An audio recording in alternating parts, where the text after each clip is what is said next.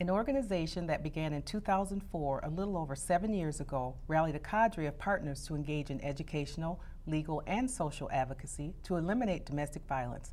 Sitting here with me today are guests from three of those organizations Bridges to Safety, St. Paul Intervention, and Southern Minnesota Regional Legal Services. Welcome to the show. Thank you. Now, uh, Danielle, Bridges to Safety is a, an organization consisting of 18 different um, agencies that come together to end domestic violence. Can you talk about how it began, why it began, just kind of give us a brief history? A group of folks from the county attorney's office, um, from the Ramsey County Court, um, from St. Paul Intervention Project, and um, Southern Minnesota Regional Legal Services got together really to ask one question, and that was how can we serve victims of domestic violence better? What can we do in Ramsey County? Everyone had been partnering together for years on different projects, but what can we do? And one of the things that very quickly emerged was that for victims of domestic violence, we ask a lot of them. We tell them, you need to talk to the police, and then you need to go to this office of the court, and then you need to go to another office to see an advocate. Now you need to go to a fourth to see an attorney.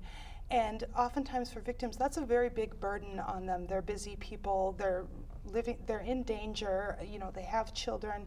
We wanted to make it as simple as possible for them and to bring all of these partners together in one spot called a Domestic Abuse Service Center where a victim could come and get services from multiple partners. So the group got together, started working and talking about how could we do this bringing other partners on board, such as the St. Paul Police, St. Paul City Attorney's Office, all of the advocacy programs in Ramsey County.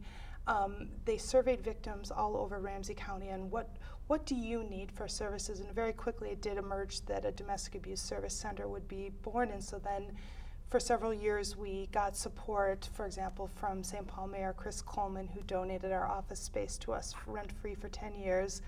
And then in uh, the summer of 2008, after some very hard work from our partners, we were able to open our doors to start serving victims. Oh, wow, okay. Yeah, it was really exciting Yeah, day. great. Uh, so I understand that you're all housed in um, City Hall, St. Paul City Hall. Our collaborating organizations that are all part of the Partnership for Domestic Abuse Services, which is the group that oversees Bridges to Safety. Um, it's all of the advocacy programs in Ramsey County. So it's the St. Paul Domestic Abuse Intervention Project, Women of Nations, Casa de Esperanza, Asian Women United of mm-hmm. Minnesota, mm-hmm. Women's Advocates, Outfront Minnesota, have, and Tubman.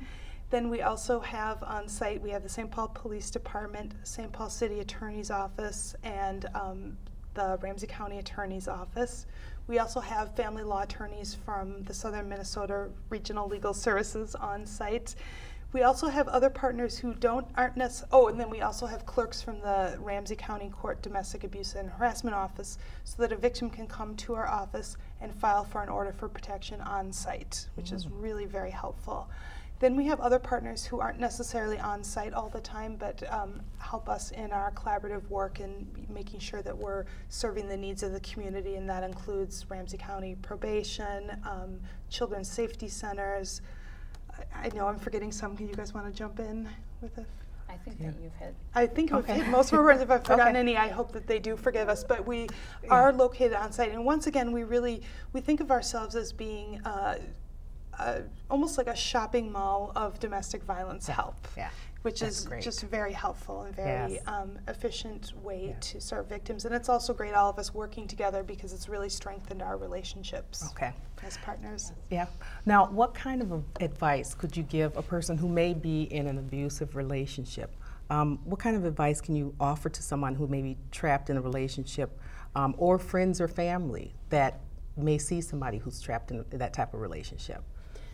Um, I think I'll start with the friends and family 1st mm-hmm. in that the best thing that you can do um, if you know somebody that um, you care about that's in an abusive relationship is to, for one, listen to them, um, believe them, and know that they are the experts to their situation, meaning that they would know best when it's safe to leave if they want to leave. Um, and I think um, the fourth piece of that is then just offering them um, an agency, a local battered women's agency or domestic violence agency um, to offer them that information just so that they have uh, supportive outreach, um, someone they can go to should they need that support. But really, for family and friends, it's about believing the victim, being supportive, um, and, and just being there when they need them. Okay. Um, for a victim themselves, um, I would I would mimic a little bit of what I just said. Is that um, first and foremost, the most courageous thing we say as advocates that they can do is reach out for help. It is the most courageous thing they can do, Mm-hmm. whether that be calling a 24-hour crisis line in the middle of the night, whether they give their name or not, whether it's calling the police, whether it's obtaining an order for protection. Um, there are multiple things that um, multiple um, help and resources out in the community, but oftentimes victims don't know that they exist.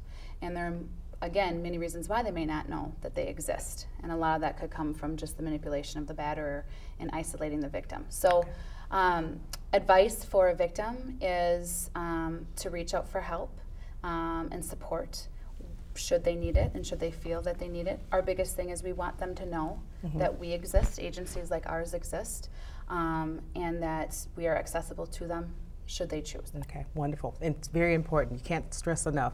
Very important. Friends, family, if you see it, call and um, some get some help. Absolutely, and if they need some advice on how to talk to someone, they can always call us at Bridges to Safety, um, and we'd be happy to talk to them about that. perfect.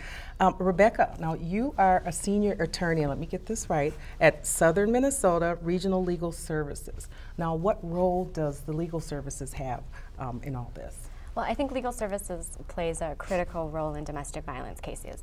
Studies have identified access to legal services as uh, the single greatest predictor of the success of victims remaining violence free in their lives. Specifically at Bridges, uh, we as legal services providers, we meet with eligible clients. We uh, try to answer their immediate legal questions. We assess them for long term representation in their legal cases, and then we also collaborate with other providers um, to conduct trainings, outreach, and then connect victims to other resources at Bridges. Okay. And now, legal services, we know it, it can be a little expensive. Do you offer um, any type of help or any kind of um, um, monies for victims that can't afford it? Well, what we do is we provide free legal help in certain types of civil legal cases. We don't represent in criminal cases at all.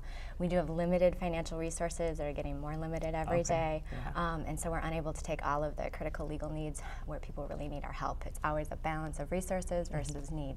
Um, we have to make sure clients are financially eligible for our services. They have to be low income. Their legal case has to be a type of legal, ca- legal case we handle. Um, and then we also evaluate the specific legal case and make sure it has merit. Okay. Okay. Now, I understand that um, your need is actually greater than what you have. Do you take attorneys? Um, uh, do you need volunteers or um, anything like that? And then, if so, what do they need to do to come in? Sure, because again, of our limited financial resources, we do try to utilize volunteer attorneys, pro bono attorneys as much as we possibly can. Um, we do, it can be difficult with domestic abuse cases because they can come up really quickly, and volunteer attorneys don't always have the time to move their schedules around and take uh, hearings. Um, you know, on a one-day notice. We have a new initiative with Briggs and Morgan, a law firm, and they have recently volunteered to take some order for protection cases from us. It has been a great success.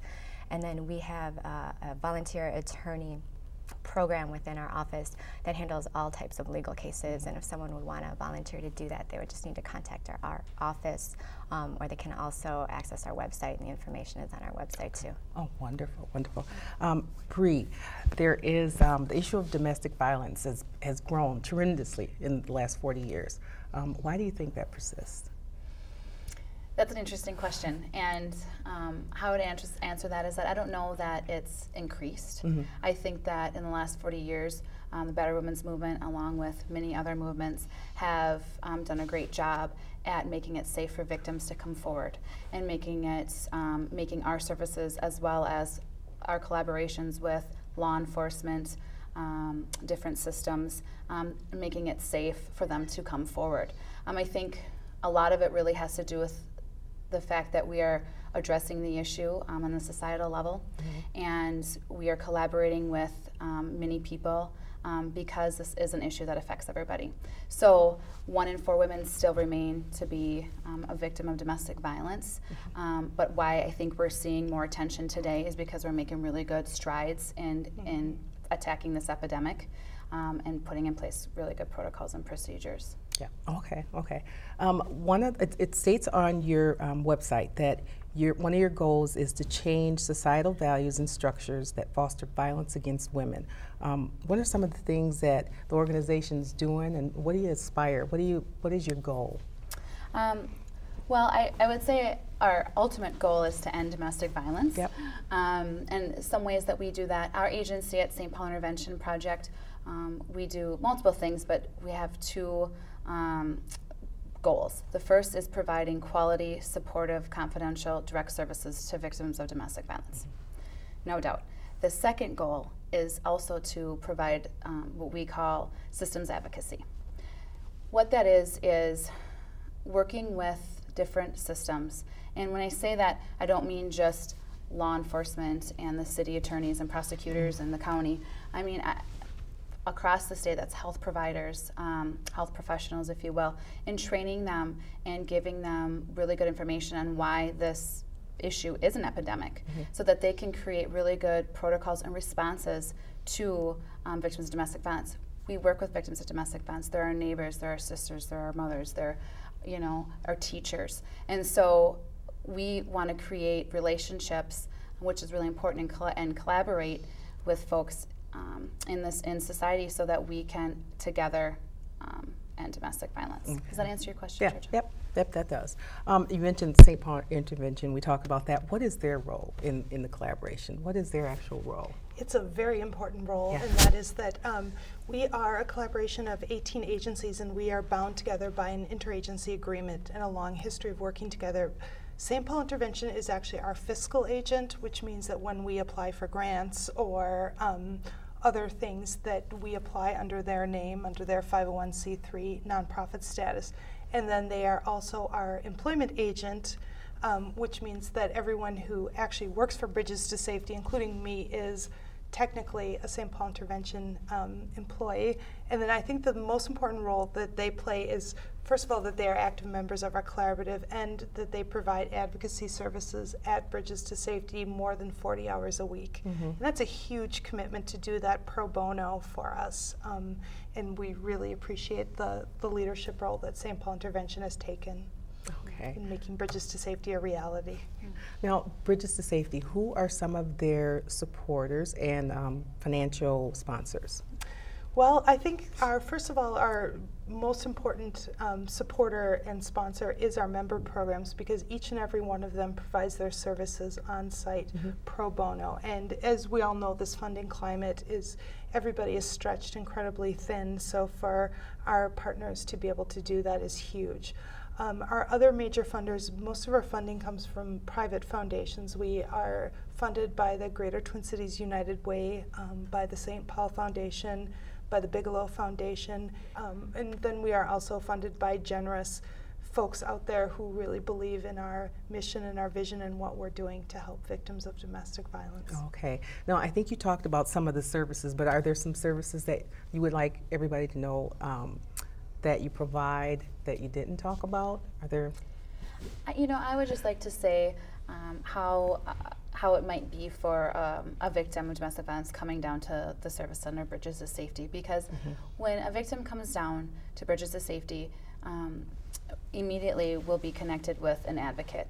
And that advocate can do multiple things, such as navigating through the criminal justice system mm-hmm. if there is um, a, domestic case, um, navigate through family court issues if, if, if there one needs um, to address custody or um, dissolution, um, and also assist in um, orders for protection. But not only that, advocates can be conduits to all the other partners there. So, for instance, if when an when a victim comes down to Bridges of Safety, she might be connected with the advocate, mm-hmm. and then that advocate will connect with law enforcement right there on site to say she wants to make a police report. Okay. We'll um, connect with um, Southern Minnesota Regional Legal Services with an attorney that's on site there to say, can is she eligible for your services? Can you speak with her and help her with her case? Okay. Um, go connect with the Children's Safety Center to say, you know, supervised visitation might be an option. And so the beautiful thing about Bridges to Safety is that she only has one place to go. Where Danielle was speaking earlier, how we've asked a lot of victims have a lot of responsibilities to go multiple places. She can just, she or he, that victim can come down to Bridges to Safety and hopefully have most, if not all, of their needs met at that time. Okay. Now, do you have any um, other events coming up or anything you'd like to add?